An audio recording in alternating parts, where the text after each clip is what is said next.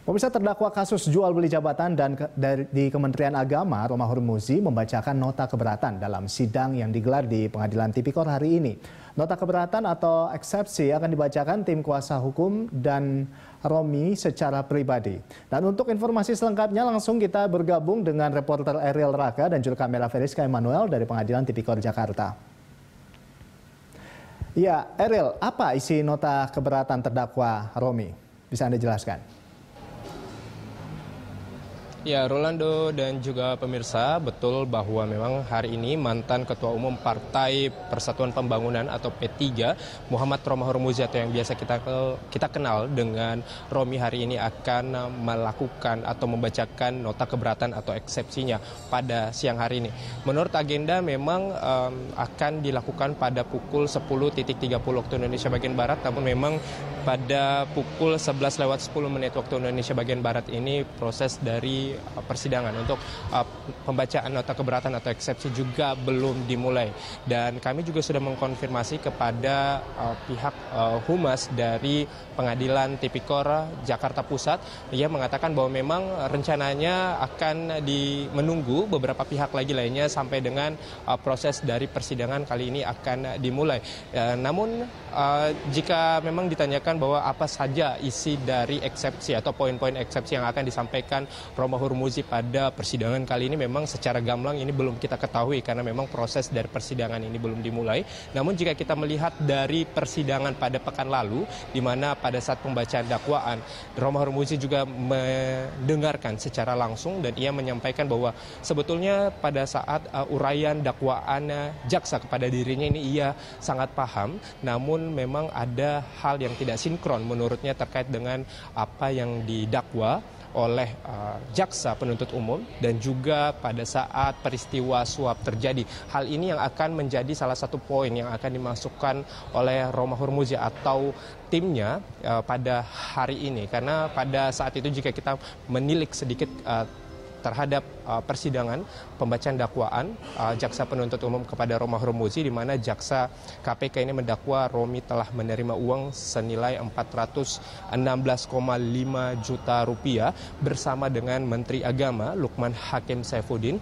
Dan jaksa mengatakan bahwa uang itu berasal dari pelaksana tugas atau PLT Kepala Kanwil Kementerian Agama Provinsi Jawa Timur yaitu Haris Hasanuddin. Namun uang tersebut ini tidak hanya dari Haris Hasanuddin saja menurut jaksa yaitu juga berasal dari calon Kakanwil Kementerian Agama Kabupaten Gresik yaitu Muafak Wira Hadi dan di mana uang sebagai uh, uang tersebut dikatakan oleh jaksa penuntut umum sebagai imbalan kepada Romi meloloskan Haris di Kementerian Agama dan ini yang dikatakan oleh Romi bahwa uh, tidak sinkronnya antara dakwaan dengan peristiwa suap yang terjadi. Jika melihat lebih detailnya bahwa Romi pada saat uh, persidangan pekan lalu ia mengatakan bahwa di dakwaan yang diuraikan oleh jaksa penuntut umum ia mengatakan menerima suap bersama dengan Menteri Agama Lukman Hakim Saifuddin.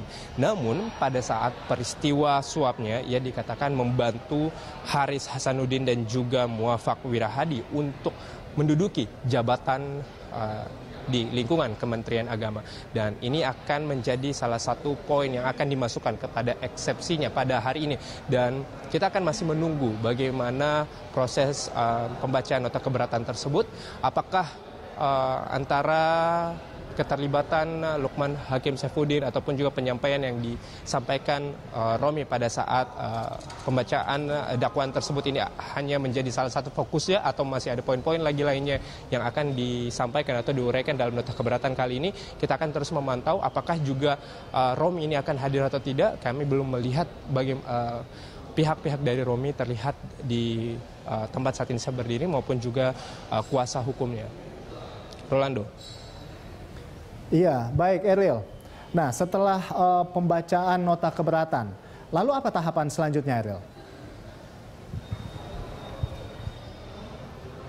Ya, Rolando, memang setelah uh, pembacaan nota keberatan, di mana sebelumnya sudah melakukan uh, untuk uh, proses uh, pembacaan dakwaan kepada Romi. Setelah itu pembacaan nota keberatan atau eksepsi yang akan dilakukan pada hari ini nantinya tentunya akan uh, persidangan selanjutnya berkaitan dengan mendengarkan tanggapan jaksa penuntut umum atas eksepsi yang akan disampaikan oleh Romi atau tim dari kuasa hukum Romahur Muzi berkaitan dengan um, beberapa keberatan yang disampaikan dalam dakwaan tersebut.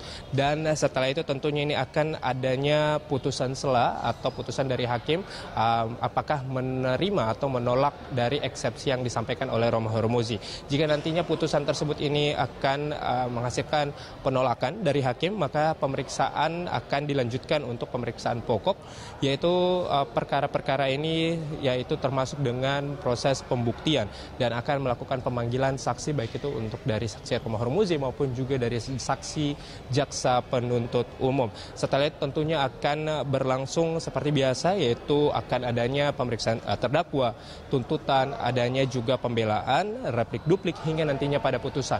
Nah selain itu juga Rolando dan juga pemirsa bahwa kita akan terus memfollow up terkait dengan uh, pada pekan lalu pengacara Romi yaitu Magdir Ismail mengatakan dan sekaligus menyerahkan surat permohonan pemindahan penahanan Romi dan pada saat uh, surat tersebut ini meminta agar Romi tidak ditahan di rutan KPK melainkan untuk dipindahkan ke LP Cipinang dengan alasan ruangan yang sempit sehingga Romi ini tidak dapat melakukan ibadah dengan baik. Dan itu kita akan uh, menanyakan jika memang nanti pihak-pihak dari Romi ini akan hadir apakah ini diterima uh, oleh uh, hakim atau tidak. Selain itu juga memang informasi yang sampai saat ini kita dapatkan bahwa memang Romi ini disangkakan melanggar pasal 12 huruf A atau B atau pasal 11 Undang-Undang Nomor 31 Tahun 1999 yang uh, diubah Undang-Undang Nomor 20 Tahun 2001 tentang pemberantasan tindak pidana korupsi junto pasal 55 ayat 1 ke 1 KUHP dana junto pasal 64 ayat 1 KUHP. Demikian Rolando. Ya, baik Ariel, terima kasih atas laporan Anda dan selamat bertugas kembali Ariel.